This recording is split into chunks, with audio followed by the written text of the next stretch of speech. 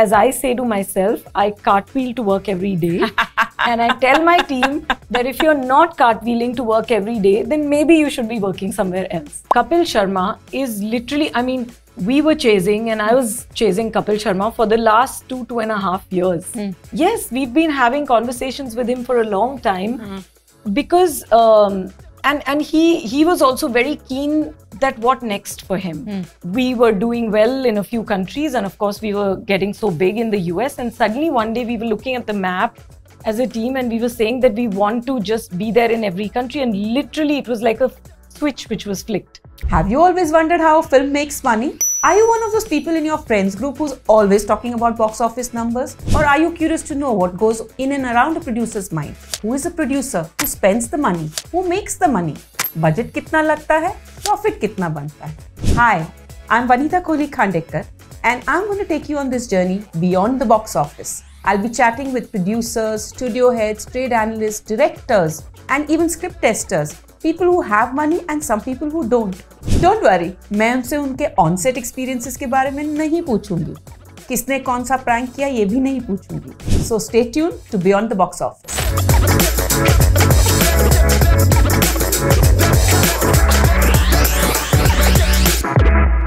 Netflix is that word which evokes so many different thoughts, feelings, emotions, facts. It's that one brand which has changed how we view video, how we watch entertainment, see entertainment, what studios and filmmaking is all about. Netflix began as a video rental company sometime in 2007. In 2013, it got into House of Cards, and then the global entertainment business changed like a house of cards, frankly. It set off a whole motion of changes which we are still experiencing in the world. And today, to talk about some of those changes in India, I have with me Netflix's head of India, Monika Shergill. It's funny, but I'm meeting her in the week that Heeramandi, which has been one of their biggest uh, series in the recent times, has is trending in 43 countries. Welcome, Monica. Lovely to have you on Beyond the Box Office. thank you vanita nice to always chat with you First, Heeramandi, you want to talk about that? Because I know that, that that's the big news for this week as far as you're concerned. Yeah, it's actually huge uh, sort of uh, news for us because uh, we launched it on 1st of May. Hmm. And just within the first week, it has absolutely raced to trending in the top 10 of 43 countries. And that is actually a first for any Indian original series or any Indian title, Hmm. uh, which is, uh, you know, a branded original created by the Netflix team with the creators, a commission series. So it's very, very exciting. Uh, we somewhere knew that we wanted this outcome and that it would be so big because that's how we envisioned it. And that's how, um, you know, Sanjay Leela Bhansali's uh, vision of Heeramandi was. But when it actually happens and it happens so quickly within the first six, seven days, I think that's the most special part. But you've had a you've you seem to be having a good year. That I saw Chamkila, which is lovely film. How's cult, cult doing? film, Cult cult, film. It has really, uh, you know, uh, popped in the cultural zeitgeist. It is such a special, special film by Imtiaz and everyone who's been a part of it. Diljit, A.R. Rahman, uh, Parineeti, and every talent HOD. Actually, I would like to say, you know, a lot of times HODs who are on uh, sort of stories or any format of storytelling don't get called out. I think between the editor Aarti Bajaj uh, and Sylvester Fonseca, who's uh, been the DOP, and so many people across that whole team who've contributed, and similarly for Heeramandi, uh, I think uh, it's truly special. You know, but it always hasn't been smooth sailing for Netflix in India. Globally, you're huge. You know, uh, 270 million subs. You're talking about 34 billion in revenues. In India, you have seriously large numbers if I look at ComScore data. But you came in in 2016. Netflix came in, and you, I know, joined in 2019. But uh, it wasn't smooth uh, sailing to begin with. But I remember us chatting last year about what happened in the initial phase of the journey, and then when you came on, how some of the changes happened. Could you take my viewers through some of that, Monika? For sure. Actually, it was uh, um, it was a hard journey. Hmm. At least uh, I can say so. When I joined um, in 2019, in mid of 2019. But if I just rewind back to 2016, uh, you know, it's something funny. When I joined uh, Netflix, uh, one of our uh, one of my global colleagues, you know, uh, and we were talking, uh, and I said, so uh, how how did you decide when to start programming in which country, etc. I was still getting onboarded, oriented with the company, and she said something really uh, fun, which uh, has always stuck with me. Uh, it was like uh, you know that we were doing well in a few countries, and of course we were getting so big in the US, and suddenly one day we were looking at the map as a team and we were saying that we want to just be there in every country and literally it was like a switch which was flicked Yeah, in January And- 2016, yes. I remember. and Uh, and we were available in some i think uh, 130 odd countries on you know uh, uh, it, it was just rolled out in one go like that Hmm. and then intentionally we started setting up local teams setting up programming and that's how it happens you know Mhm. even as we speak, there are certain countries where we are still, where we've been there, but we are still in the process of actually setting up those local teams, etc. So 2016, we started. Correct. There was no local team. Uh, you know, it was just the international content Mm. and uh, um, audiences who had been watching while visiting internationally Mm. or who were watching through their VPNs, through family accounts, etc Mhm. uh, who were familiar with Netflix, and actually uh, the content on Netflix was making waves all over the world. Hmm. So that's how we started the first original, you know, which was Sacred Games. That came sometime in 2018, season Okay. one. Yeah. And then when I joined in mid of season, uh, uh, in mid of 2019, Hmm. uh, a couple of months into my joining uh, was, or, or a month into my joining, Sacred Games 2 was happening. Hmm. So, uh, and before that, just Delhi Crime season one had, Had happened. happened. So we started off with these massive successes and something totally new for the Indian audience Hmm. and so much love and expectation.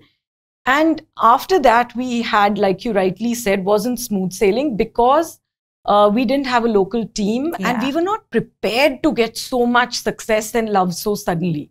There was no planning to really kick off production in India that Hmm. quickly, or it's a process always.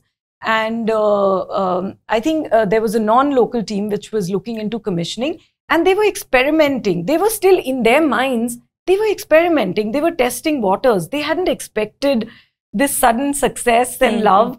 And, uh, um, and then, programming was being run out of LA. yes, I yes, remember that. Exactly. Sorry. Yeah. Exactly. And there was uh, no local team Hmm. and they were testing and they were trying different things. Hmm. And of course, it was, it became such a huge trial phase to, uh, you know, try new ideas. And at the same time, uh, you know, other platforms had local teams already. Hmm. So they were programming to local tastes, Hmm. you know. So therefore, the difference between Netflix and the other platforms was Showed so up. stark. Hmm. And because of the success of Sacred Games, sometimes when you have a huge success, then that also becomes something that weighs you down sometimes. Hmm. So these beautiful titles, which were so good, also became the only benchmark for everything else that was coming, which was more in the experimental space.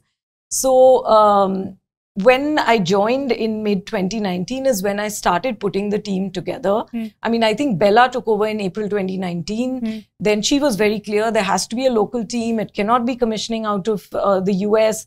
And then uh, Bella you know, Bajaria is Bella the global Bajaria, head of she's the global Yeah, head of yeah. content. She's yeah. the chief content officer of Netflix. Mm. And um, she's wonderful. She understands India. She actually gets programming in general from all over the world because she's been a career creative exec. Mm.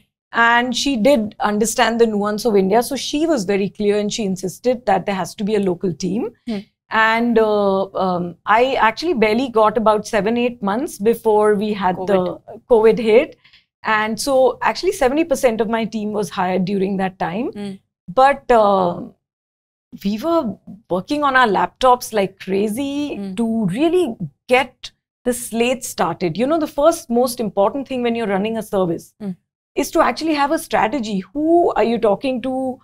What is the size of audience that every story must address? And what do you want to be for that audience? You know, you have to answer those really fundamental questions. Mhm. They are fun questions, but are also very hard questions because uh, Netflix as a brand has always been this global brand, Hmm. telling these global stories and uh, um, you know having the best consumer experience by way of product uh, everything looks a certain way, Hmm. which is different from how a lot of um uh, you know Indian content was looking at Hmm. that time, which which is the difference people saw in Sacred Games also when Hmm. it came. Hmm. You know, it just looked so different, so cinematic, and different from anything that a series world would bring to you. Hmm. So I think um, just getting the team together, setting the strategy in place, and really defining who do we want to be for the Indian audience and what do we want to offer them. What was that So- definition? Who do you want to be?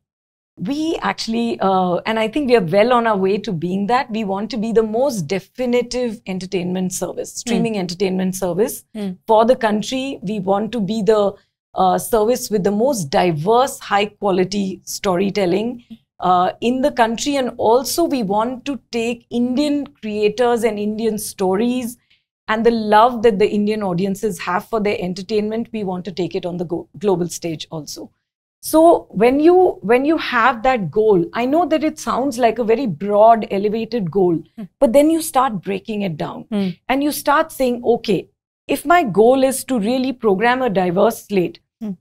and this is my spectrum how do i keep catering to the core audiences Hmm. Hmm. which love a lot of international cinema international storytelling Hmm. because everybody the most elite of um, indian audiences love their own cinema love their own everybody in every country loves their own storytelling more than actually they love which uh, something which is coming from elsewhere Hmm. the appreciation fundamentally for storytelling from different cultures has gone up dramatically Hmm. and a lot of it i think is also uh, you know Hmm. uh, credited to what uh, reed and ted have done with the service and how they rolled it out across but i think what doesn't change in every country is how much you love your stories of your own milieu Hmm. your own people you want to see yourself reflected you Hmm. want to see someone who's your like your friend Hmm. your mother your partner your child Hmm. yourself Hmm. you know and that is something which is very very special and unique so when we were planning the slate that's what we actually wanted to reflect we Hmm. wanted to start picking ideas that will both be relatable and be surprising. You have to be both. You know you've you've put so many things into that that thought but i'll just step back to 2019 you've just come from Voot. I know that you you were part of the success of satyamev jayate Yeah. so you've come with this and i know that that that show was very close to your heart. Oh you you really this thing. And you're sitting in 2019 and just covid is about to come or covid has happened. You're planning for a slate which is you know knowing that development work takes anywhere from 18 to 24 months in india Easy. for a slate which is going to come two years down the line. How do you predict? I mean, and not only in 2019, but even now, how does the green lighting thing for something in the future work? I find that fascinating. You know, how do you make those calls? uh, And then you get some of them right, you get some of them off, Yeah. and some get, but you have to get large them largely Yes, right. Yes. That that is actually the truth of the uh, business. That entertainment is a hits and misses business. Hmm. You have to you have to understand that, and you have to be a little scared by it, but you have to be lots more excited by it. That's the magic of being in this place. And if you're the person who is willing to, uh, you know, take those bets and who's clear about why you're taking those bets and Mm. you're excited by it, but you're a little nervous about it, I think You're it's in a, a good good place to be in. And I think it's very important when you're leading a large team Hmm. to be able to make them confident enough of actually, uh, you know, throwing your might behind those bets, of bringing in the rigor Hmm. to know why a certain bet work, could Hmm. work potentially for a large enough audience Hmm.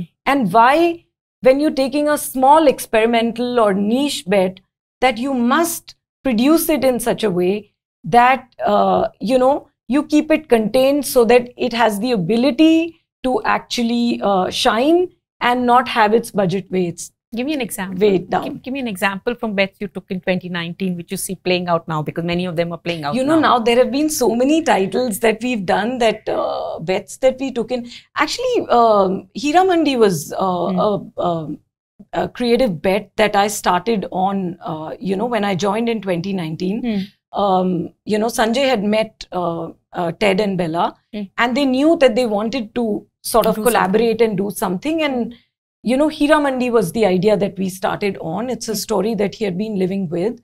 And how big it should become was something that we decided locally in Ah. terms of our investment, Okay. in terms of it was not a decision that someone sitting in LA would take or would even sort of understand of Hmm, what hmm. does it mean to have uh, a filmmaker like Sanjay Leela Bhansali makes series in India? Hmm. What is that leap for him? Hmm. What does it mean in terms of investment? What does it mean in terms of his craft? Hmm. He makes one film in uh, you know three years. Uh, what does it mean to get him to do an eight-part series? Uh-huh. and what would it look like Mm, right mm. so i think that uh, sort of uh, understanding and that kind of uh, thought that went behind it that kind of collaboration understanding his vision adding a netflix perspective to Mm. that vision Mhm. because that leap that you have to take from a, a film format to Mm. a series format a, a limited series by limited i mean a long format series but a season format Correct. which is limited. Mm. It's not a. I mean, uh, SLB had made um, a series at uh, uh, Star India Mm. when I was there many years ago, which Mm. was called Saraswati Chandra. oh yeah, I Yes. remember that. So Huh. he was familiar with the series Uh-huh, format, but uh-huh. in a indefinite series format. that was linear television. Linear this is on, on demand. So yeah. what does it mean to tell your story in this format so i think uh, and the writing uh, is completely different the way you plan everything is completely different so i think that was a very interesting journey Mm. Um, many other uh, titles you know uh, delhi crime 2 and how it should shape up uh, you know was a very important uh, conversation at that time after all the accolades that it had got and i still remember um, you know, when we ran into uh, uh, reshoots and I stopped the right, Hmm. like, you know, the shoots and I got people to rewrite and Uh-huh. redo. Uh-huh. And Delhi Crime 2 actually became one of our most successful seasons and so loved. It was so loved and, uh, uh, you know, by the audiences, reviewed so well by the critics. Uh, but before that, there were all those comments about, uh, you know, uh, Netflix is getting it all wrong. They don't know. There was a lot for a long time. There was a time. lot of. Uh, you remember that earnings call in 22 when Reed expressed frustration that they were not getting anywhere in the India market and re- it ricocheted across the world. I did a story also around Yes, that time. yes. And he said that in Jan 22 in an earnings call. And 22 was the best year of your life in Yes, India, as yes. luck would have it. Actually, uh, you know what? Um, what most people misunderstood, Hmm. uh, he was not referring to how the India uh, content slate or business is doing. What he was actually trying to nuance is that in most markets, he was trying to nuance the complexity of the market.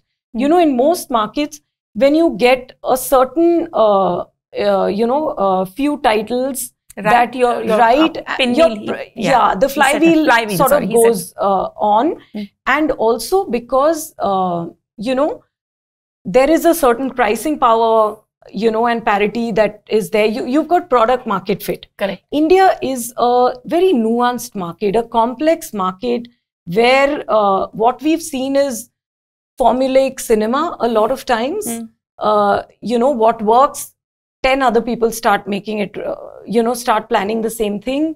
Uh, television has also been like that. If you've seen, if one type of storytelling works, then many such stories come Mhm. we have not been a market that has experimented a lot in the entertainment space. And I think what I see as the strength of Netflix from that time to today, Mm. if you just look around, even in the streaming environment or anywhere else, the amount Netflix has experimented and innovated, Mm. that is why we have done a complete turnaround and we are sitting today on a very, very successful service, the fastest growing service within Netflix and in the market also.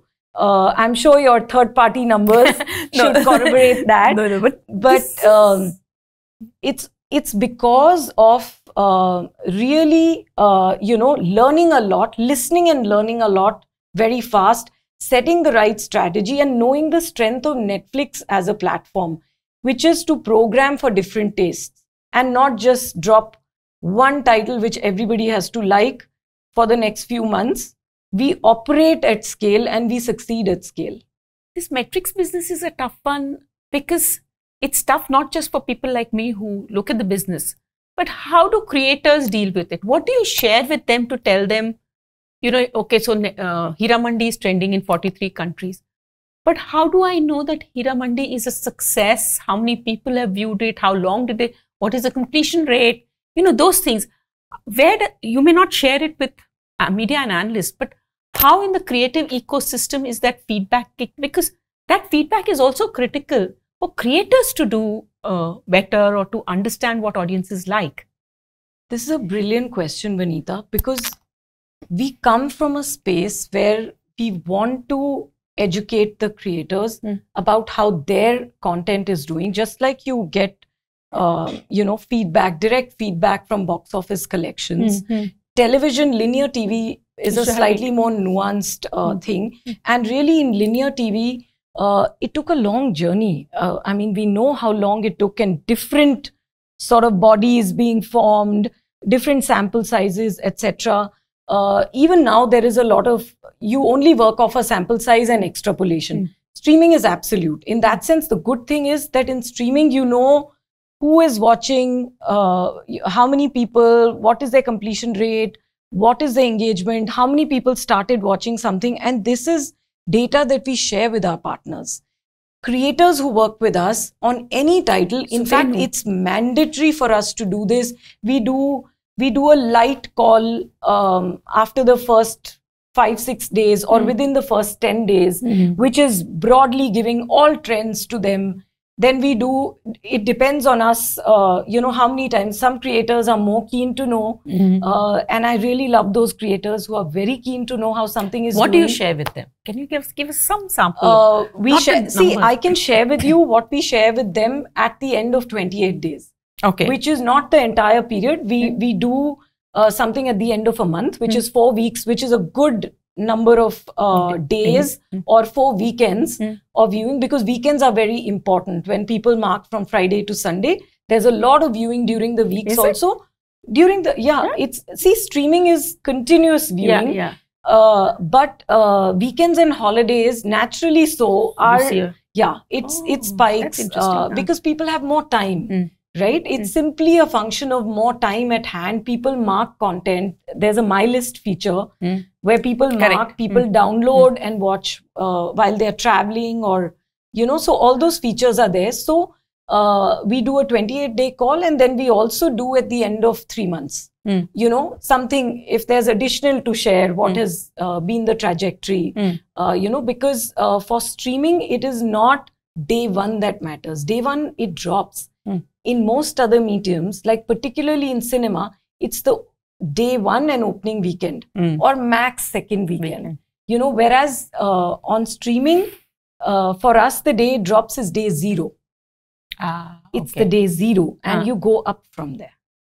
But so we share, we share, uh, you know, um, how many, like what percentage of people have viewed it on the service from, you know, the overall service numbers we share uh, you know the engagement how has the engagement been we share sometimes uh, you know in titles where there are certain points of drop offs we mm-hmm. share that mm-hmm. so that they know that they get story feedback also that what could we have done better mm-hmm. we share overall when we make a renewal decision on a series Mm-hmm. it's absolute validation for the creator that we have done well Mhm. and that uh, you know uh, uh, because it is successful a season 2 is coming Mhm. so we share a you know an understanding which is very holistic Mhm. but not just for the consumers uh, as a streaming service uh, you know barring youtube where the data is you know sort of because it's uh, a user generated platform and you Mm. know Mm. how many people have watched something uh, Netflix is the only streaming service which is so transparent with its data. Our second engagement report is coming Mm. in a few days, and uh, where we reveal, uh, you know, the view hours, Mm. and uh, uh, you know, there'll be certain new data that we'll share this time. Mm. But unfortunately, what uh, and this is my personal uh, take, you know, uh, the understanding of it is very limited. So people try to, instead of understanding the data holistically, there is a slightly narrow view of the data. of uh, so that is still a journey where the For number of- for example, um, if I'm not mistaken, and we can correct this if I uh, don't have it right, but in our first engagement report, um, we just shared the titles and the view hours. Mm. We didn't differentiate the formats, Mm. as in Film film, and separately series. Mm. and series separately. Mm. So uh, it can easily get misunderstood as title X had number of uh, you know these view hours and title Y had lesser or more but actually formats are different. different. A series is anywhere six to seven hours, yeah. hours, Mm. and a film would be under two hours. Mm. So you know that also has a difference. So I think we are also getting better at it. I hope people's understanding also keeps getting better and better. And that's the endeavor, you know. Mm. That's the journey we are on. And I think it's very important for streaming also to have some standardized I sort of viewing metrics. Some third party metric would be lovely. But you know, one thing you'd mentioned, I remember when Kohra became a hit last year, and I'd done a story around not just on Kohra, but on Netflix getting its India act together. I remember because I'd done so many stories saying Netflix doesn't seem to be getting its India act together. but act good, together. thanks for pushing us. No, We've been at it. not me. It's not it. You guys pushing. But the the I remember you saying that Kohra had uh, hit the uh, among the top non-English shows, etc. You said that the algorithm works like this: that if the show is successful locally, it'll get pushed. So how much of it is algorithm? How much of it is marketing? What combination of factors pushes a show? I, I, am sorry, Heeramandi is the most recent example, but feel free to pick up any other, you know, mm-hmm. Rana Naidu hai, Kohra hai. I mean, Railway Men, uh, Guns and Gulabs, Chor Nikal Ke Bhaga. Chor Nikal Ke Bhaga. I remember you telling me Latam mein bahut acha yes. usne kiya tha. So what is the combination of factors which pushes it up? And do can how much can you manipulate it or how much or it is just the creative thing that I tell a good story and just hope and pray that it pushes up You know, uh, it's a very interesting one because uh, there's a bunch of things that happen. Uh, when you create a story which Mm. is coming on a streaming platform, Mm. uh, the first and most important thing is that people should know it's coming. Right? okay Some people will discover it organically on product, people who exist Mhm. and whose taste is Aligned. aligned Mm. uh, you know um, genre preferences Mm. taste there's a lot of uh, meta tags Mm. on a title Mm. right by meta tags i mean that if if it's a film a hindi film Mm. uh, you know uh, there'll be tags with uh, um, stars they'll uh, you know with uh, bollywood as a Mm. genre uh, if it's a romance, if it's a rom com, there'll be that. So uh, there is a definition of a title, Mm. uh, you know, which comes on the service. So product will serve it to uh, you know all the people with that Mm. taste Mm. and genre preference, and also what is new. Mm. Recency bias is a lot. People like to watch new things. What Mm. is the latest that's coming? So a lot of people will see the trending. yeah what's Top? 10, what's trending, what's popular, what's new on Netflix. So all those rows actually tell you each row is meant to tell you something different and you know Mm. because pe- different people respond to different things. Mm. What the role of marketing is to actually make people who are not on the service aware that this title is coming. If something is coming and launching, just like a film promotion will happen, there'll be a promotion of a series or an ori- original film coming on Netflix, Mm. and we will go out and tell people, Mm. right? Mm. So awareness is very important. Mm. When people come to that title Mm. uh, in the home country, Mm. when more and more people watch and love, Mm. two or three things happen. Mm. One is that uh, that title starts trending Mm. and it immediately jumps to your top tens. Mm. A lot of people like to select from top 10. Mm. People need validation that Correct. what is worth my time. And there's so much, particularly on Netflix, on any other service, there is very little challenge in Mm. the sense that there'll be few titles that you can watch. Mhm.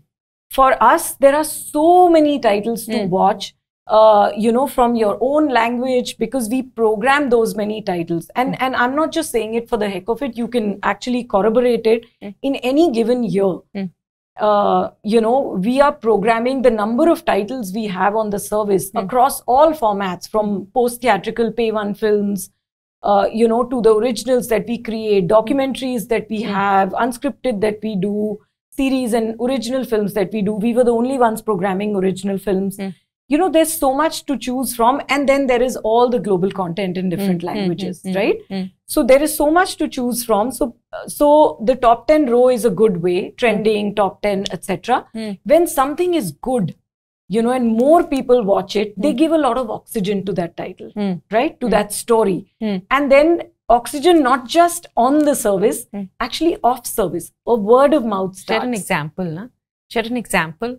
Because I've Uh, used Kohra already. आप कोई और Kohra, example use uh, करो. Railway men, if I Railway, were to okay, tell you, हाँ, हाँ. railway men uh, trended in 35 countries besides India. It did well in India and then so got pushed well. up. It did so well in India. Huh. Brilliant story. Hmm. The word of mouth was so huge, Hmm, uh, hmm. you know. Hmm. And on a subject, uh, uh, you know, uh, on a subject like, uh, you know, the night of the Bhopal gas Gas. tragedy, and uh, how these heroes came together. And, and that story was so well loved that so many people spoke about it. It became so big on the service Hmm. that it started trending in multiple countries, uh, you know, and it was in the top 10 list. And actually, it was the longest in the top 10 list. Another Meaning? measure of success Hmm. is uh, the number of weeks that Oh. a title stays in the top 10 list. Huh. That actually tells you how much more successful it is Huh. than titles that have been, uh, you know, for lesser number of weeks. What is the longest Railwayman has been? I think More than what? uh, Just- much longer than see we had done. I I recall we had done a hundred day press release Hmm. because it was on for hundred. You know when a movie does hundred days, how we used to celebrate it. Now it rarely happens in cinema, Silver but with so much uh, uh, competing content on Hmm. a streaming service and just as netflix we launched so many things after that so many post theatrical films coming um, so many of global originals coming everything coming and it went way beyond 100 days Are there countries which take more to the stories coming up and not just diaspora kind of markets, but are there countries? You told me LATAM for uh, Chor Nikal Ke Bhaga, and there was another one. But are there countries which take more to stories coming out of India, or it's just totally dependent on the story? uh, it's both Huh. it's both Huh. uh, some countries definitely have a more affinity Uh-huh. uh, you know, just like we also, like in India, uh, we love watching Korean dramas and dubs because rom coms are an underserved Hmm. category in India. Uh, we also love watching Japanese anime yeah, in India. loads. And we love watching Hollywood content, right? Hmm. Same way, Indian content does very well in Southeast Asia because there's a lot of South Indian uh, diaspora there. Hmm. So South Indian movies do well. In Middle East, uh, our originals and our uh, uh, you know post theatrical films all do well. Turkey we do very well. Uh, Poland we do very well. Hmm. Latam we do very well. Hmm. Sometimes we do well in Germany also, depending on certain titles. In UK, uh, you know, uh, depending on certain titles, and US, that you know more diaspora. But there is definitely, uh, you know, uh, a lot of affinity. Uh, and then when you have sometimes titles like Heeramandi, uh, or you have titles like uh, Gangubai, Mm. or you have titles like RRR, Mm. uh, you know, or Chor Nikal Ke Bhaga, which was a very taut, uh, Hmm. thriller you know, heist thriller. heist thriller, yeah. You know, and and like I said, Railwaymen, Mm. something that people had read, something that felt like it was something they wanted to engage in. Mm. Khaki did well in so many countries. Uh, Is it you know, correct to say that Germany is a Shah Rukh market? All the Uh, stuff you've ne- licensed from uh, Red Chillies does it do well?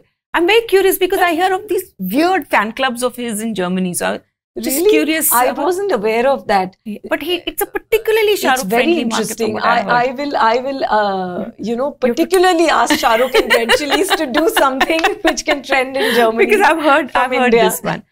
Um, you know, we- we've discussed Heeramandi and we've discussed Chamkila, but uh, and 22 was good. What's 23, uh, 24 been like? The first four months, you've had some big releases. What's coming up, and what's the year been like so far, and what's coming up as far as next? I think uh, the year has been us laughing all the way to the the most bank. uh, amazing uh, uh, you know, validation from the audiences. Kapil Sharma on the service, the Great Indian Kapil Show, Mm. has been such a, uh, I think, uh, delight for our audiences, our members, and uh, the new ones who are, uh, you know, uh, joining us. It has it has really been something that has. Um, single-handedly of course we always have a very diverse slate Mm. and mamla legal hai uh, legal was nice already Mm.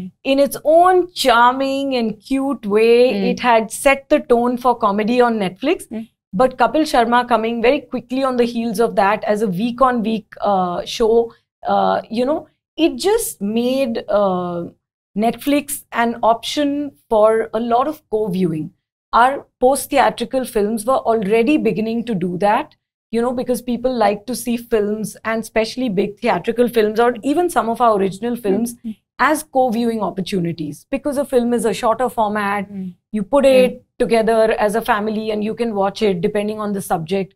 But i think kapil sharma coming and we also decided to drop it as you know uh, available from 8 p.m onwards every saturday so Yeah. uh, you know we broke our own rule of uh, No appointment on demand. yeah Is Kapil Sharma also in 12 countries across the world? Netflix has unrolled uh, advertising supported and ad supported tier.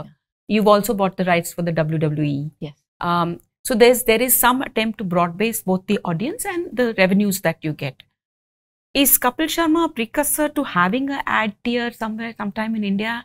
Um, I'm just curious. Is that uh, will we see more shows like these, which and and and therefore appointment viewing, which is you know our uh, there's one thing which i find um, very sort of i would say unique and liberating at netflix Mm. uh, there are many things but Mm. this is the most important as a content person Mm. is that your content strategy Mm. is um, independent of every business pressure your Okay. content strategy has to be tailored to the audience the audience that you want to win that you want to entertain Hmm. that you want to grow Hmm. so uh, kapil sharma is literally i mean um, we were chasing and i was chasing kapil sharma for the last two two and a half years Hmm. you know we Oh, were you wooing him yes we've been having conversations with him for a long time Uh, because um, and and he he was also very keen that what next for him Hmm. you know and we we did that special together Hmm. uh, you yeah, know, yeah, yeah. I uh, saw the, the his- we did the special together Where because because actually Kapil had been the winner of my uh, uh, you know the Great Indian Laughter Challenge season three when I was Uh, Star. uh, at, at Star Huh. and and you know to get him back to a stand-up format Hmm. which which is also a very uh, in fact as we speak netflix is a joke is going on Hmm. in the us Hmm. it's our biggest comedy festival it's running to packed houses if you go anywhere in la right now Hmm. and across the us there are so many shows happening uh, Oh, it's it's just okay. a month of laughs for everyone and there are people who queue uh, uh, you know queue up for tickets and entry it's it's really you fascinating now? so, uh, I mean, I was leaving the same day. I, I would have loved to, but it was the opening night with the Jerry Seinfeld, oh, uh, okay. you know, packed uh, show. So, uh, so we wanted to bring Kapil back to, um, Netflix. uh, I mean, bring Kapil back to where he started from, which was a stand-up special, which was Kapil talking about himself. You know, because when he was talking uh, in the show, he was always getting everyone else too. So we uh, so that was the plan to get him to really experience Netflix in a different way and the Mm. power of Netflix. Mm. And actually, when he did that, which was Kapil Sharma, I'm not done yet, Yes. it became a raging hit. We Mm. didn't even promote it that much. Mm. We wanted to see how does it really call out to Mm. audiences. Mm. And uh, that became a raging hit. He got messages from all over the world Mm. You know his fans suddenly all wake he's such a huge uh, uh, talent and so loved. And yet he was surprised with what he experienced once his special came on netflix. And i think that's when uh, you know it, it Mm. like uh, what we were uh, chatting about with him Mm. actually became Came a big reality in his mind and he got very excited about it. Mm. and uh, yeah and then that's how we planned. So it was always a content move. It was a content strategy and um, Uh, we've uh, rolled out the ad tier in 12 countries. Hmm. And as a company, we really believe in testing and learning. Hmm. We have to uh, get our ad service to scale in those countries Countries and then gradually roll it out across. So it is actually very disconnected from that. Okay. But how do you expand the market from here? I mean, so Netflix is at a certain position and there are several other OTT. But I think everybody, the whole market is stuck at this 80, 100 million subs and maybe 4, 4, 450 million viewers overall at an aggregate level. How does the market expand beyond? Because TV is at roughly double that viewership. So, you know, just curious about how you look at the market and where does Netflix fit in? You know, um, I think the one difference we have from other streamers, I would say, is that we don't look at uh, expanding the business in terms of expanding the sub base. Mm. Because eventually, success in streaming for us is about, uh, uh, you know, ha- running a healthy business, which is based on good revenue, which is based on very high engagement, Mm. uh, and uh, which is based on, uh, you know, the eventual sort of uh, uh, profitability that you drive as a Hmm. business, Mm-hmm. right? Mm. Because that we are a pure play streaming service, and it's very important for us to actually run uh, a healthy business where we where we are able to have the virtuous cycle Hmm. of uh, investing, Hmm. pleasing, Hmm. and entertaining our audiences, And earning and plowing it back. You Mm. know, it it has to be this great virtuous cycle, Mm. and which will bring the flywheel of uh, you know uh, continued and tremendous growth. And we are experiencing that, taking short-term decisions to increase subs and try these panic moves or uh, suddenly growing at you know in a race to the bottom way uh, is not something that we are interested in doing. And I think in the last few quarters, we have very definitively shown after the uh, you know the rough weather that first Netflix hit and the whole industry Hit. I think we have shown a tremendous turnaround from there. Hmm. The quality of decision making uh, from a business point of view, Hmm. the number of hits we've had, uh, you know, uh, as content slates, not just in India but around the world, in Hmm. every country, we've become sharper and more focused on investing in, uh, you know, winning titles. And what does it mean uh, to actually create higher quality? Uh, I mean, if you've seen how Baby Reindeer has Done. done, how Three Body Problem has been the most uh, unique series, Hmm. and uh, so many others that have, uh, you know, come recently. You know, uh, at one point there was this talk of, you know, Netflix is spending so much on content in India. I remember there's a 3,000 crore figure floating around some years back. But we learned from that and Never, I know you, you stopped sharing your sub numbers also globally. I mean, I don't know what, because Netflix was like this really transparent company and it's, But we are giving more transparency in the engagement report now. I hope so. Yeah. Uh, no, I've, I've seen that. But if one was to look at India and, you know, and you, and you're right, it is a pure play. It's the only pure play service there is because Amazon has shopping and that's where Prime comes in. Hotstar has a very profitable broadcast business, which is there. Yeah, so Sony people has a- so sign up people for have- different yeah. reasons. But here, this is pure play. What is the role India plays in the global scheme of things? You know, is it is it a market you come to because it's, it's got an audience for your product, or is it also a market you come to because it tells good stories? Because it's among the few markets like Korea which has a strong um, uh, creative ecosystem. So, uh, uh, what are those some of the things that play on the Netflix? You know, in your global dashboard, what is the? Just curious about that. You know, I always get very uh, sort of fascinated with this question, and it keeps coming up again and again. I know, I know. Uh, it's almost like as India, we are looking for validation that we matter to somebody. We are there. Please watch us. No, please can we get love business? us. My point is. so I really feel that uh, I think it's it's uh, a no-brainer Okay. for any large company in the world, Mm. not just in the entertainment space, but in any business. Mm. You know, unless you want to have, you know, unless for very specific reasons Mm. You want to ignore one fifth of the world's population. Mm. Uh, you know, uh, and it has to be a very clear, specific reason, which I don't think entertainment is the business, in which you can yeah, do that yeah. we are one of the biggest entertainment loving audiences in the world. Mm. We love our movies, we love our stories.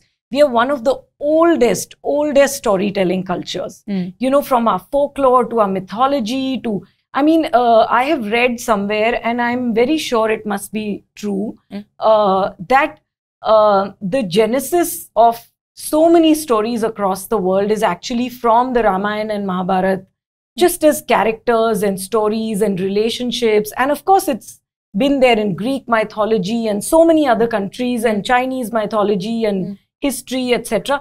But India has been one of the oldest civilizations, Mm. and our storytelling culture is, you know, um, really second to none. I would say it's one of the richest. Uh, our creative ecosystem, uh, you know, the talent that we have, and by the way, we haven't even scratched the surface uh, on talent in India because our exposure levels have been limited for many, many Many years. years. And now, you know, with streaming coming in, Hmm. our exposure levels of people who can get inspired. See, everybody needs to be inspired. As Plato said, all art is inspiration. The more you read, the more you watch, the more punts you see people taking, you know, it does things to you. For me, when I'm reading something, when I'm watching something, it sets off so many ideas in my mind that, oh my God, what if this were to be done like this or that were, be, you know, to be experimented with? That's what I think so many people in our country have been waiting for, have been starving for. And I think what streaming has done, it has democratized creation, it has democratized uh, Viewership. viewership, you know, access. Access is the most important thing to actually uh, inspiration. Hmm. You know, you Hmm. have to see something or know something to actually. Uh, so I think from that perspective, uh, uh, Indian creator ecosystem is uh, we are no longer uh, a few people having access to a few DVDs and uh, No, you know we making- weren't there. We were, we were Uh, much bigger. No, but no, but uh, just having a view on different types of stories and having having you know um, sort of uh, this desire and this confidence to experiment and having means to experiment because as as a service as a platform and many platforms all streaming platforms i think what we've also brought in is um, you know support to enable our creators to experiment Mhm. to tell different stories or to tell the same stories in a better way yeah, in fact, that's the reason I was asking you because we missed our whole premium TV Yes, bus. So exactly. we've grown That's in what I was trying to discontinuity. We did yeah. not have the HBOs of Yeah, the world. yeah. So when you come in, you know, you have a film, very nice film business, and you have uh, television, linear broadcasting, which is all daily soaps. You and you've also done a lot of work. All those workshops that you did. Yeah. You've you run even now. I think you run some programs for short films. You run program for Many. talent with BAFTA. All a, a lot of places, which is basically helping the creative ecosystem develop. So, do you find it coming up to speed? Where are we on that? And is Netflix still in where making those investments in the creative ecosystem?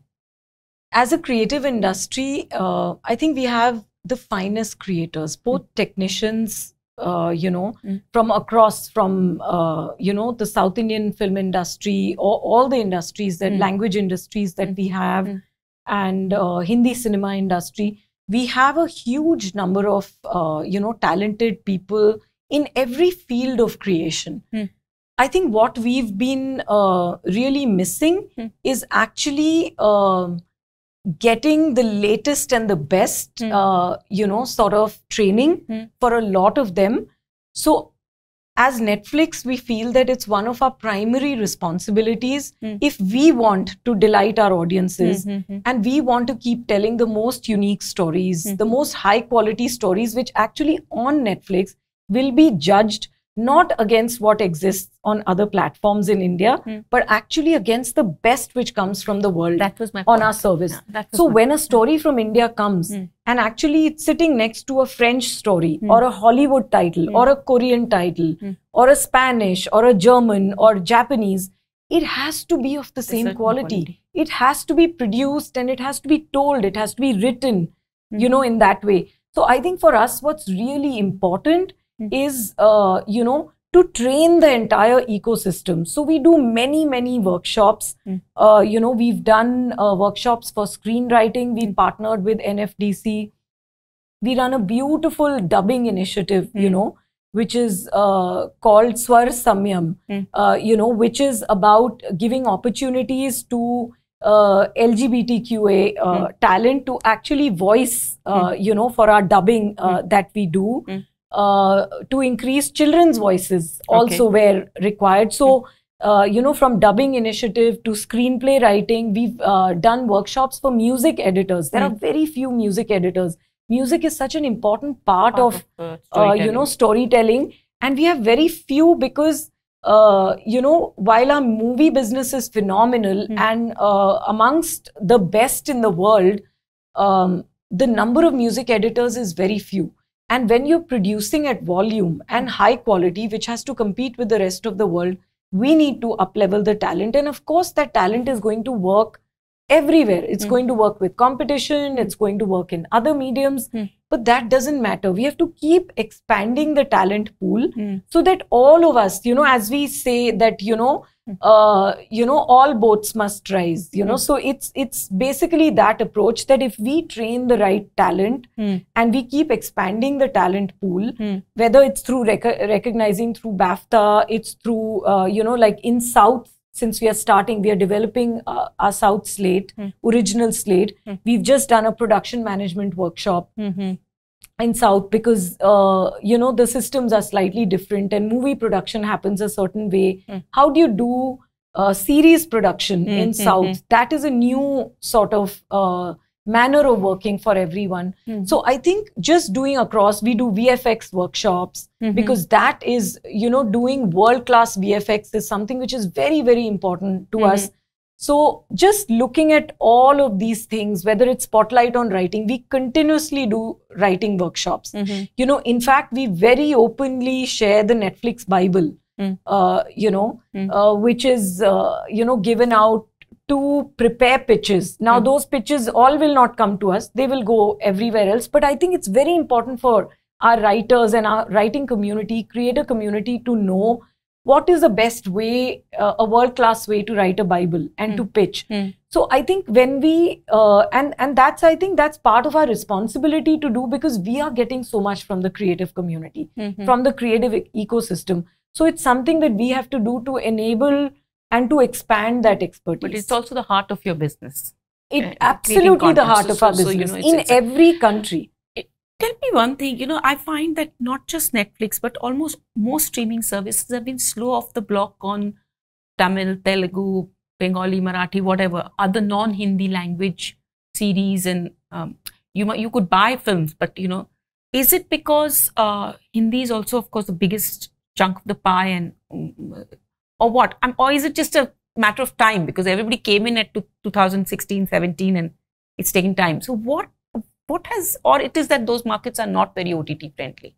I just, just no, actually, curious. that's that's not true. They Huh. are very streaming friendly. In Huh. fact, uh, um, uh, our year-on-year growth on South, uh, uh, you know, viewing is fifty percent. So they are very streaming friendly. Uh, they watch international content also because, Mm. as you know, there's language affinity also yeah. with Hollywood content. And uh, you know the the reason is what you said just a while back. Mm. We missed the whole wave of premium television creation. So that thing. It is very difficult to write a premium series, Mm. and it takes a certain uh, you know rigor and mindset. And um, I think the journey started in Hindi first Mm. because for any streaming service, you know, uh, closer to Hindi cinema, Mm. since we all operate out of here, Mm. Uh, and there was more affinity to uh, even amongst the uh, creators in the Hindi industry, more Mm. propensity to actually look at global series and want to create, want to be a part of it. The Sure. evangelization of the South creators Mm. has been in general slower. Mm. Some of them are very excited and they are all uh, sort of, uh, you know, now working at it. Also, some of the series in the streaming space in South that were created were at a very small scale. Mm. For us as Netflix, when we come in, for us it's important to create series of a certain, uh, you know, uh, quality, stature, I would say, scale, Mm. because that's the expectation that the audience also Yes. has from us. I remember Shailesh of Ormax had once told me that this is when I was doing was why is Netflix in trouble story. He says, you know, Netflix is an aspirational brand. Everybody wants to be on it. Everybody wants to have an opinion on it. Mm-hmm. What kind of pulls and pressures and what, and not just pulls and pleasures, but what kind of joy also that brings. Mm-hmm. So just wanted to know, sitting in the the India as the India head of this business, what kind of pressure and what kind of joy does being this aspirational brand which set the ball rolling on streaming globally, what does that bring? You know, first I want to say that uh, Shailesh is right. We are an aspirational brand, but he's only half right because we are now a relatable brand Mm. and yet we are aspirational. And that's where I think uh, uh, the, the most heady cocktail of Netflix is and Mm. should be always. Mm. We want to be extremely relatable and close to our audiences, but we always want to also be a little aspirational because we want to push ourselves and we want the audience to continuously push us. Now, uh, that uh, can actually either be seen as pressure Mm. uh, or actually it can be seen as uh, motivation, Mm. it can be seen as drive, Mm. it can be seen as uh, uh, once in a lifetime opportunity. And I speak here for myself, just Yeah. making it a little Personal. personal there for me. Uh, you know, I've I've been in the business for uh, you know more than two and a half Decades. decades. Starting out as a journalist, then becoming an entertainment executive, Mm. doing many different kinds of things and Mm. formats of programming. But um, the experience that you have at Netflix Mm. to actually really do the best work of your life, Mm.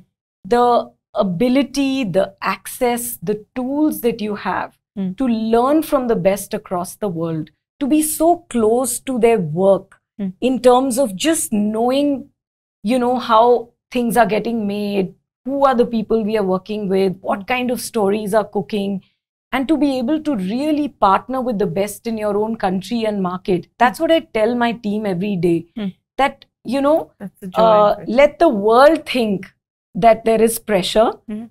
Actually, we don't feel that pressure. Pressure. We feel the excitement. As I say to myself, I cartwheel to work every day.